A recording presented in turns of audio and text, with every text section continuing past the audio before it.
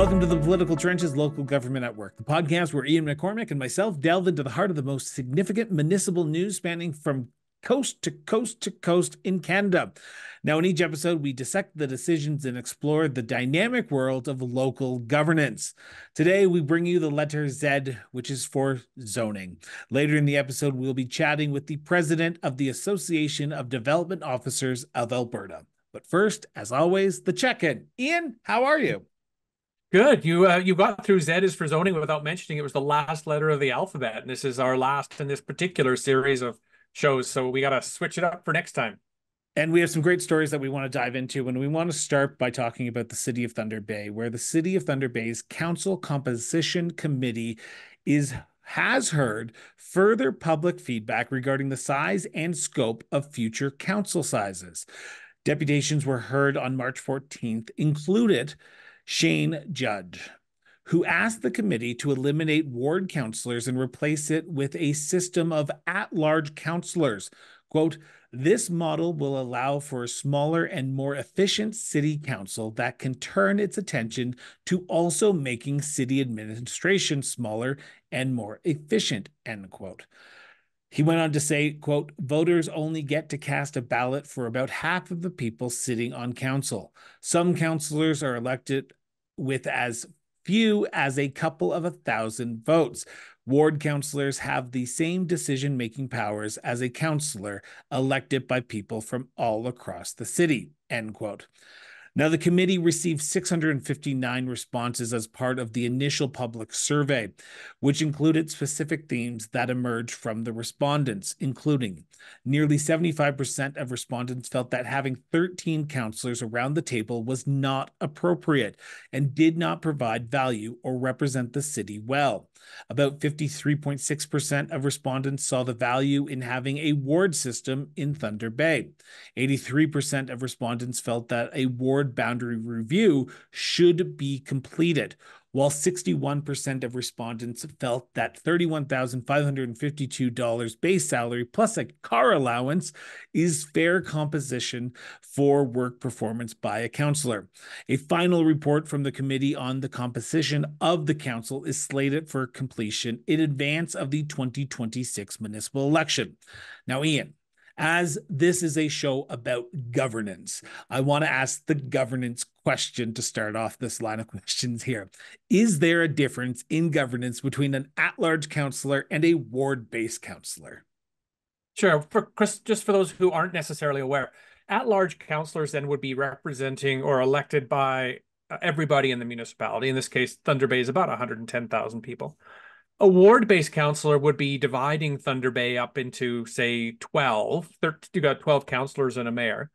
And then each counselor would represent a portion of Thunder Bay which is about 8,000 9,000 people I suspect. Uh, so two different ways of doing it. Either one is representative uh, depending on how it's structured. So I don't think there's anything inherently good or bad in the overall from going with ward based versus at large. I will say though that with a population of 110,000 people, it's difficult for any single member of council to represent a particular constituency just because there's just so many people out there. So right now, if they are divided into wards, the constituency is somewhat smaller, maybe more homogeneous. There's a guarantee that city councilors will live in different parts of the city, which isn't necessarily the case if we're in an at-large system where everybody conceivably could even be neighbors and then serve on city council. So there are there are a couple of ways to think about it. I will say though, with the hundred thousand people, seems to be kind of the tipping point between where an at-large system has benefits and where a ward-based system has benefits. So a lot of times it's going the other direction because most small municipalities, towns, and villages are elected at large, if not all of them and then they grow and they grow and they grow and they're still elected at large. They get to this 100,000 110,000 point and they start to think about uh, divvying it up into wards. The uh, grass is not necessarily always greener on the other side but in this case what thunder bay appears to be doing saying we, a we have too many councillors. B we need to do a review of the ward boundaries. And c should we be switching systems? So there are actually i think three concurrent topics of discussion going on is it better for uh, uh, a subcommittee of council to review this policy rather than council themselves because there can be some sort of uh, air of favoritism because you don't want to lose the fact that you're elected in the next election and it's probably easier for some people to get elected at a at large than a ward system and vice versa as well. So is it better to have uh, residents run this committee rather than even the councilors? Or would you recommend yeah. councilors do it? So first of all, a council committee has no authority other than that given by council. So even if the council committee came back to council and said, we recommend we go in direction A, council still has the opportunity to debate it and make a decision.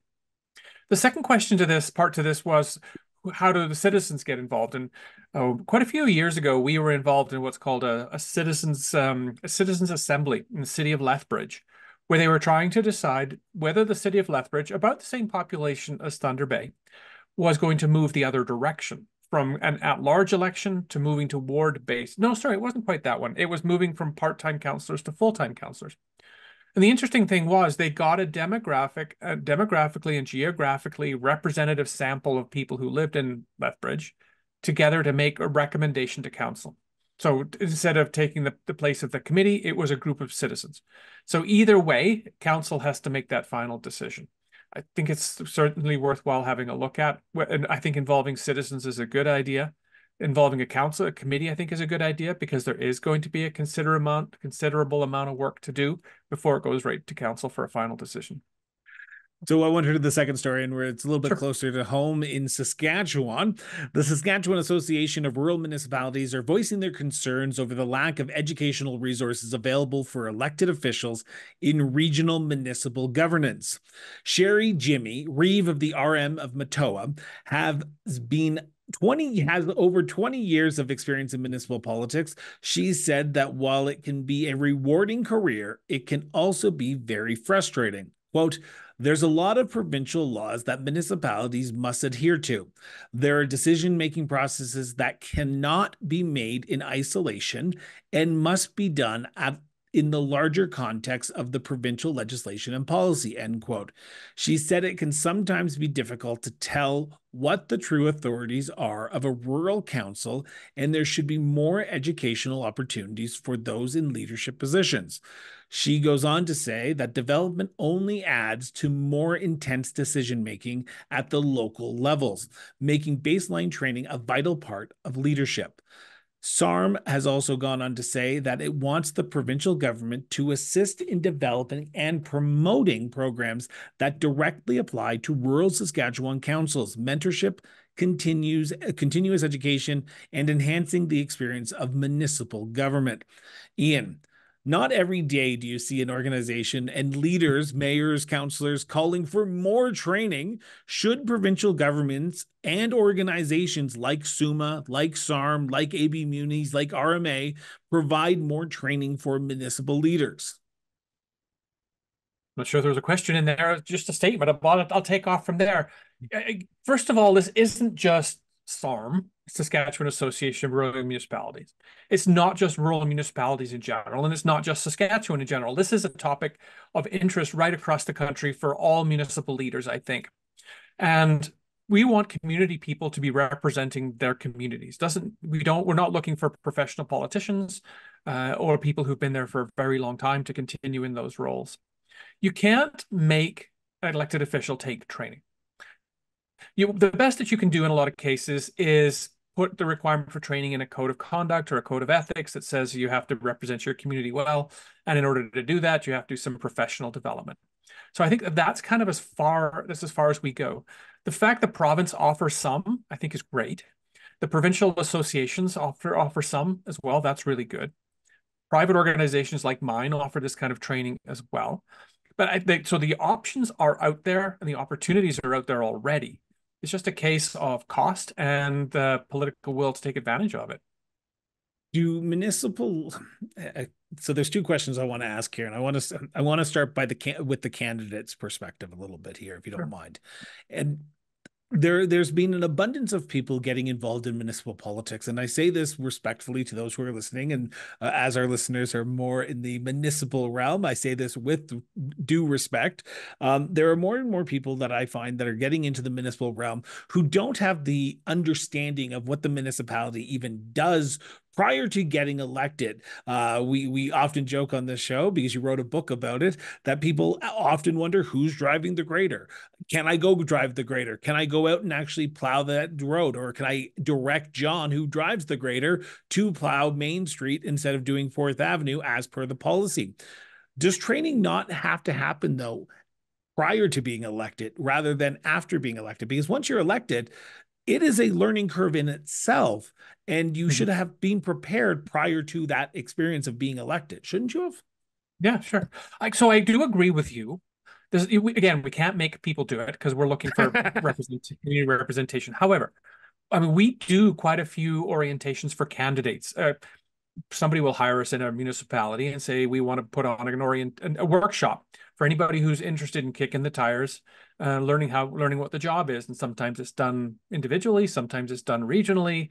The rules are the rules so we talk about principles rather than the, the specific details of any municipality a lot of the time. So i think that does give people either a leg up as they decide to run or an understanding that what they thought they were going to get to do they can't do i.e. grade the driver and then they decide grade the sorry drive the grader. And then they decide to go do something else. That's great but i think also there's often an inverse relationship between those who need that training and education and those that think they actually need it. That sometimes the Dunning Kruger effect runs strong.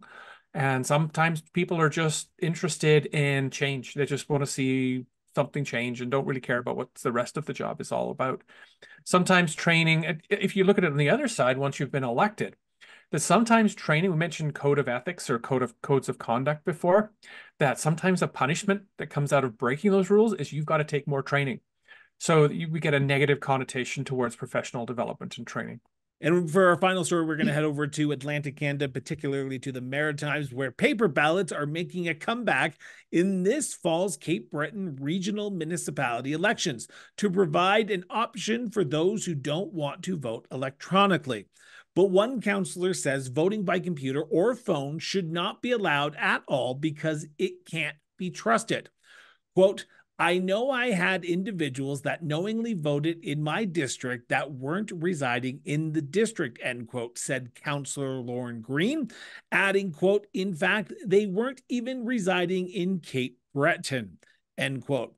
Green represents District 12 in the community, which includes parts of Sydney and all of Whitney Pier, Lingan Road, and communities of South Bar and Victoria Mines.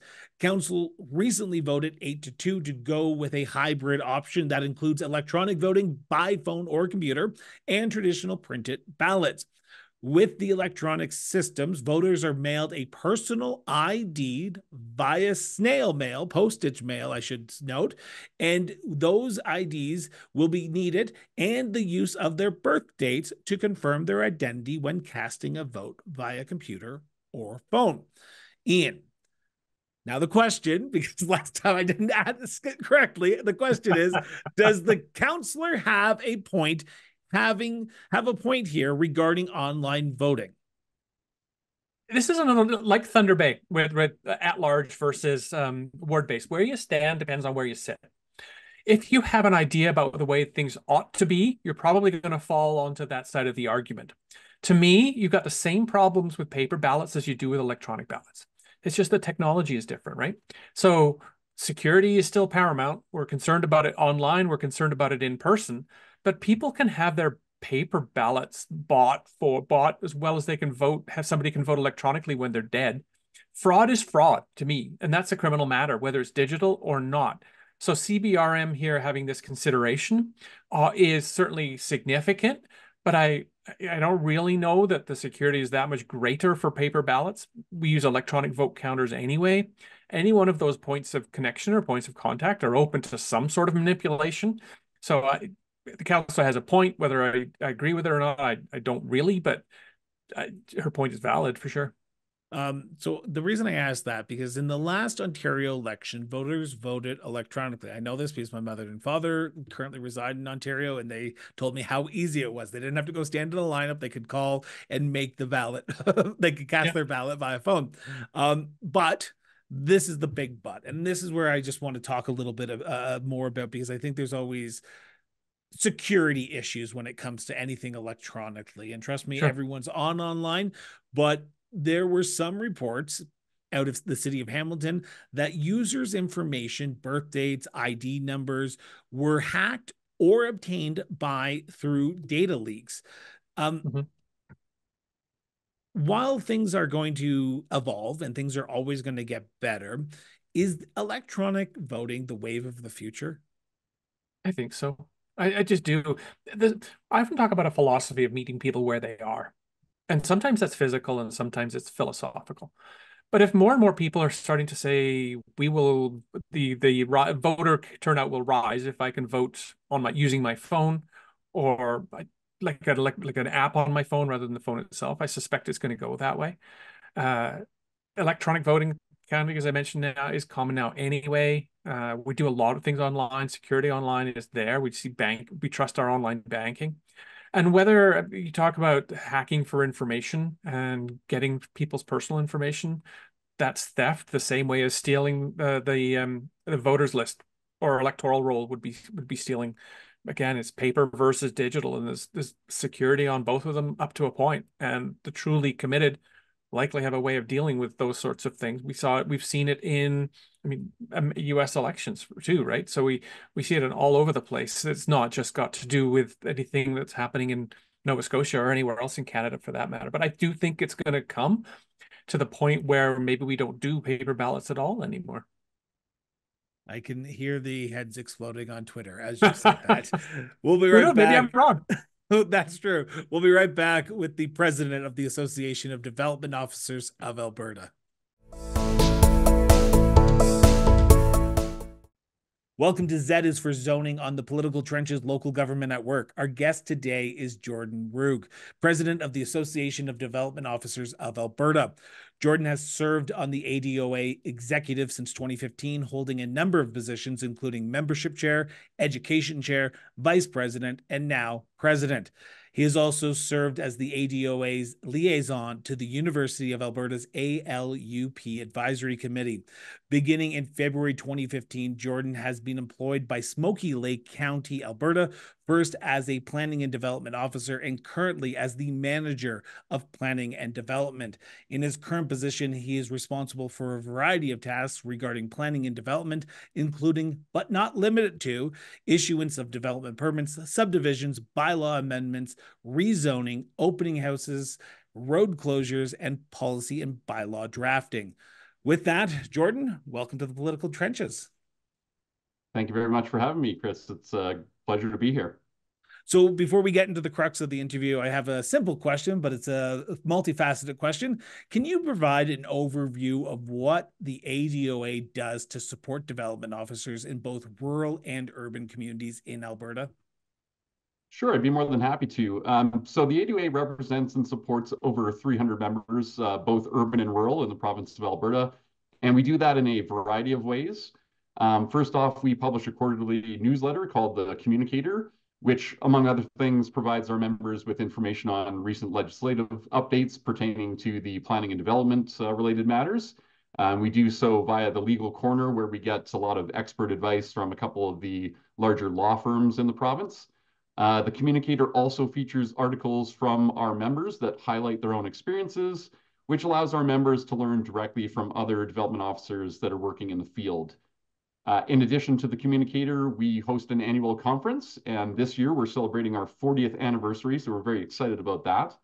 Uh, and at the annual conference, um, we offer our members uh, a number of presentations from the planning and development uh, industry, as well as other related uh, industries such as surveying, engineering, safety codes, uh, environmental issues, wetlands, um, and it offers our members an opportunity to, to hear presentations on a wide range of topics that are of interest to them and, and the work that they do.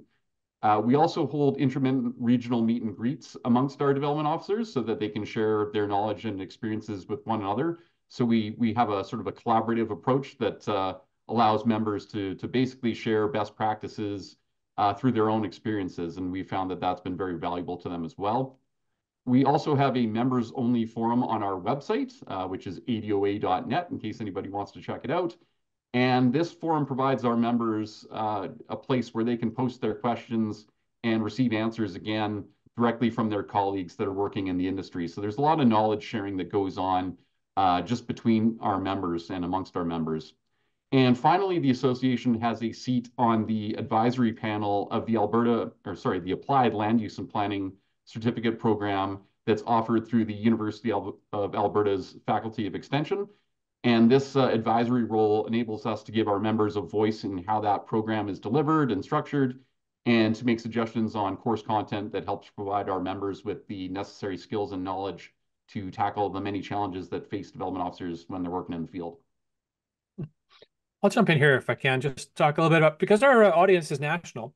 And we're speaking to you, of course, in an Alberta context. I suspect the details of the profession are fairly similar, even if the legislation isn't.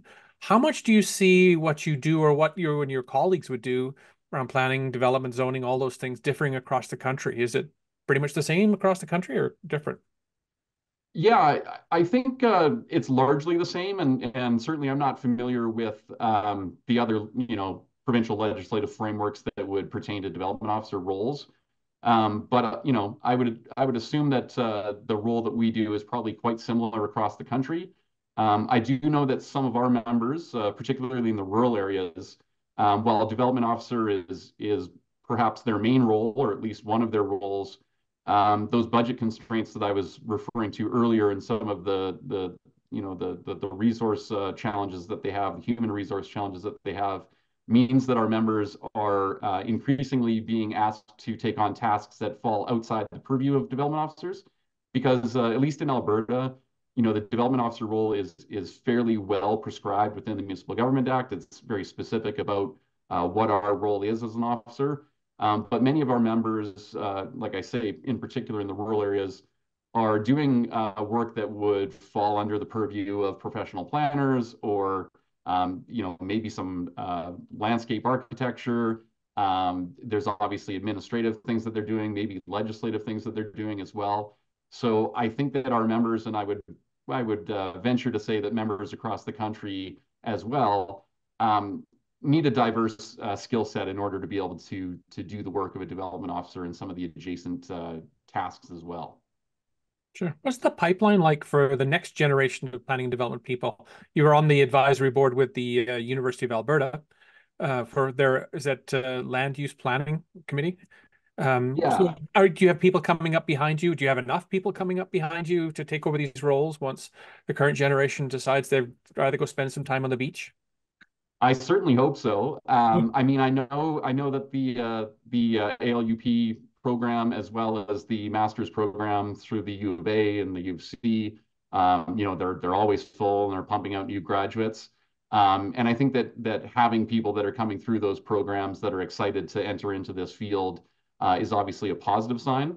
Um, but like I said, not everyone goes through that formal route, and mm-hmm. some some of us, you know, end up uh, pursuing further educational opportunities as our careers uh, evolve and we've poached a number of people from other uh, you know industries as well that uh, that see what we're doing and, and find that it's fun or interesting and we're always more than happy to have them mm-hmm. um, but i do think that yeah there, there's probably enough turnover i, I think uh, when i look at our membership we have some people that are um, you know on, on the the back end of their careers but we've also got a lot of new faces that i've seen at the conference in the last couple of years and I'm starting to feel like an old guy at uh, 40 years old now. So uh, I, I, guess we we are in good hands that we've got people coming up to replace us when when it's time for us to leave. So to pick up on what Ian was talking about a little bit, but going back to sort of the demands of the development officer in Alberta, um, as our listenership is more traditionally mayors, councillors, reeves, CAOs, administration, what can municipalities do to support development officers to cope with the stress and potential burnout resulting from an overly demanding uh, job that they have?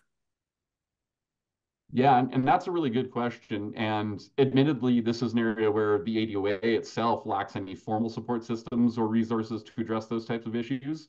Um, but most of our members are municipal employees, and most would have access to uh, mental health supports and services through their benefit package. Um, but I do think that there's more that uh, that the municipalities and the ADOA could do for for our members in this regard.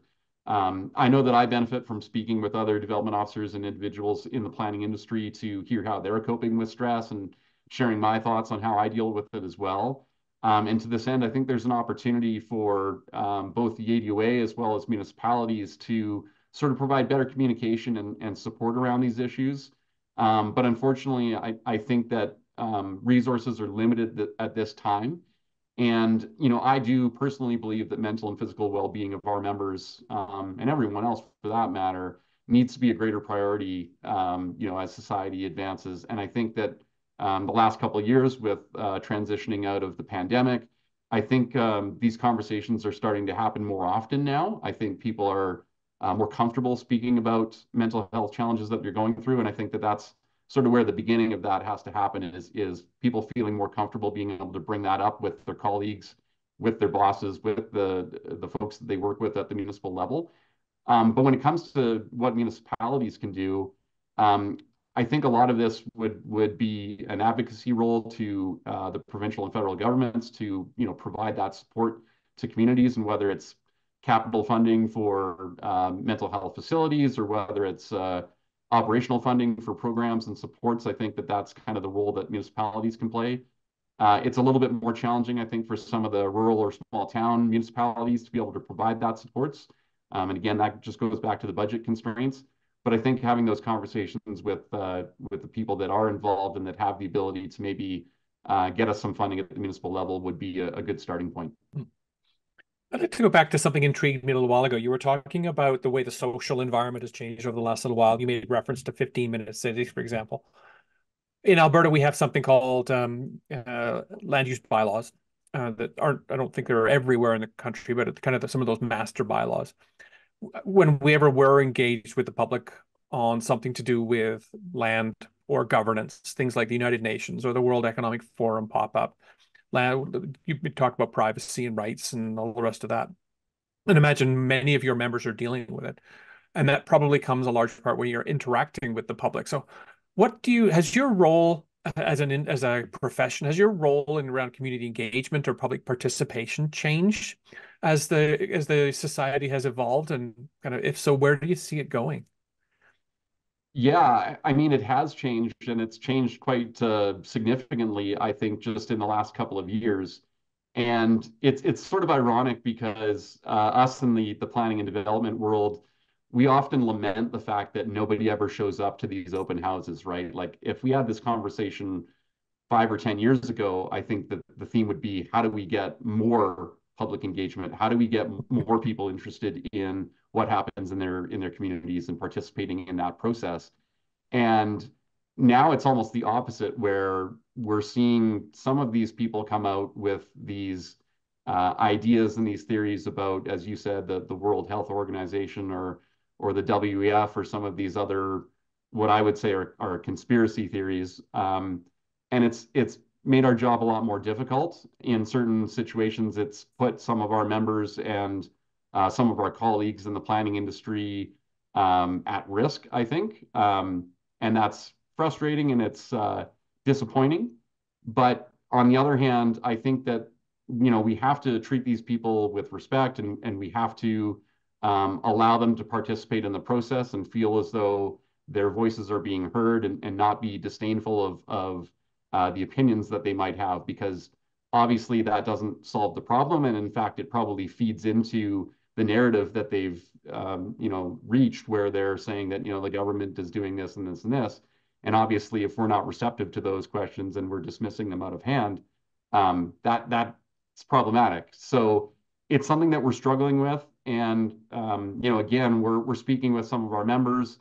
Uh, we just had a board meeting a couple of weeks ago where this issue came up, and as an executive, we're trying to decide on whether or not we uh, do a presentation at our conference or if this is something that we deal with through our, our communicator newsletter. Um, but we're interested in hearing from our members their experiences on how they've been able to handle these situations so that we can use that information and provide our members with a path forward because um, I don't think that these types of ideas are going away. And in fact, uh, I would venture that they're probably going to be become more and more prevalent in in the engagement process. Um, so it's it's more about just trying to find a way of of um, being uh, open and transparent in the process, and also, like I say, not dismissing uh, some of these ideas that uh, that we might not agree with, but um, trying to give people a voice. And then beyond that, I think that um, our engagement and public participation is evolving um, because of the new technology advancements that we're seeing. Um, so when I started this process uh, or, or, this uh, this career 10 years ago, and I was learning GIS, uh, which is Geographic Information Systems, it's 3D mapping.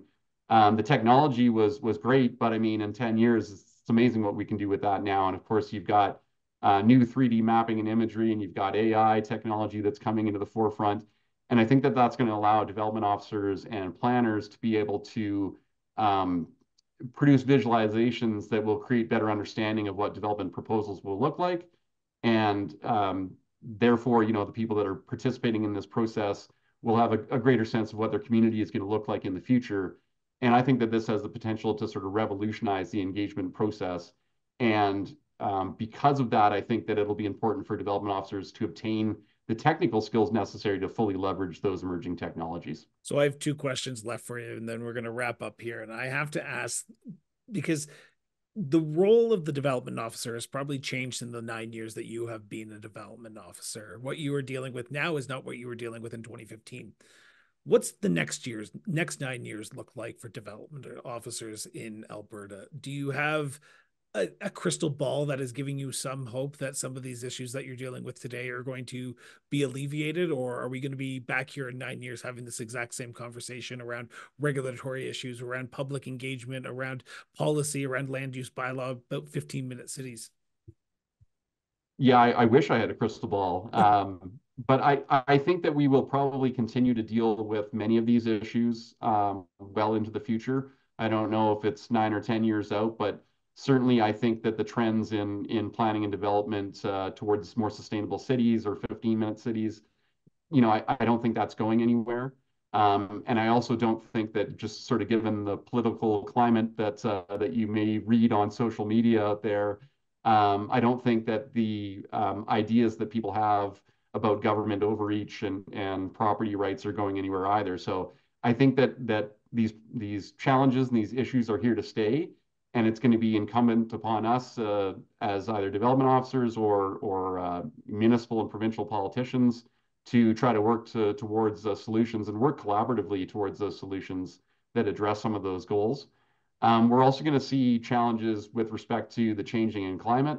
And again, I, I don't care what your opinion is. Maybe you don't believe in climate change, but uh, it's real. It's evidenced in in the the drought problems that the southern part of Alberta is going through right now.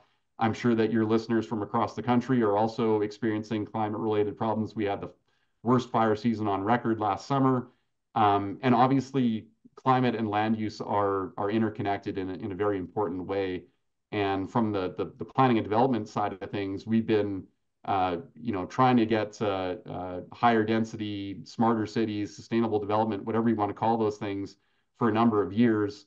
Um, and in, in places like Alberta, where you know uh, prime agricultural land is is at a premium, um, we're we're increasing the population. The food has to come from somewhere. Um, these these all are sort of interrelated issues when it comes to development because um, we've got renewable energy projects that um, you know are going to be located on on agricultural land. So how do we ensure that that those projects are are are done in, in a, a, sustainable manner and that they're targeted towards lands that are you know not as viable as agricultural land. And I, I am not sure if you're aware of the AUC report that came down uh, yesterday. I believe I had a chance to to quickly look through some of that. Sounds like it's not as uh, dire of a, a, situation as we were uh, told, maybe in terms of the uh, viable uh, agricultural land being taken up. But again, these things are all part of a of a larger conversation that uh, we need to continue to have.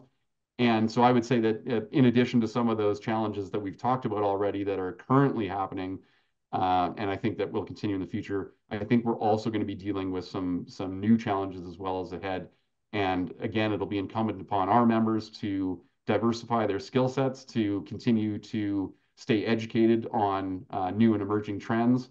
And I have confidence in our members that we'll be able to do that because we've got a lot of uh, very smart and bright individuals uh, that we uh, count amongst our members. Jordan, uh, I want to thank you so much from both Ian and myself for joining us on the political trenches. I was going to try and make some zoning, municipal land use slope bylaw, like our grade is perfectly sloped for our trench and our political trenches, but I thought maybe not. But thank you so much for joining us on this, uh, the political trenches and talking about the ADOA, but also some of the issues that your members are facing. So thank you so much. Thanks, Jordan. You're welcome, Chris. You're welcome, and I appreciate the opportunity. So our full interview with Jordan will be airing next Wednesday. We'll be right back after a quick break. Ian, that is for zoning. 26 letters down, 26 episodes later. We are done. Another great interview with our guest today, Jordan Ruegg. I want to make sure I pronounce his name right because mm-hmm. I'm 90% sure I pronounced it wrong in their introduction. How'd you think the episode went today? I actually learned a lot. The uh, I deal often deal with CAOs and councils. I don't often deal with development officers. So a lot of the specifics of things that he was talking about, I thought were really quite interesting and how they intersect with a lot of what other people do. So it, a lot of things happen on the land, under the land, in the land. And to me, without these development officers knowing what the heck they're doing, a lot of us are going to have a lot more difficult time. So this is it. We've officially yep. come to the end of the uh, municipal alphabet. Uh, looking back, uh, starting with A is for amalgamation and now Z is for zoning. Um, we are going to be back in two weeks' time. Uh, it's going to look a little bit different. We're not going to continue on with the municipal alphabet, but it might be a different iteration. It might be a different title, but we will be back in two weeks' time. Ian, it is always a pleasure to sit down with you in the political trenches and talk about these issues. Uh, thank you so much for joining us for the first 26. I can't wait for the next 26. Yeah, thanks. Thanks for tolerating me for the last 26. It's been more than that because we did a couple of special episodes in there as well. So, but 26 letters for sure. Maybe we need to change, use the Japanese alphabet next. I don't know. Anyway, uh, it's always a pleasure. We'll be back in two weeks' time, everyone. Ian, always a pleasure. See you soon.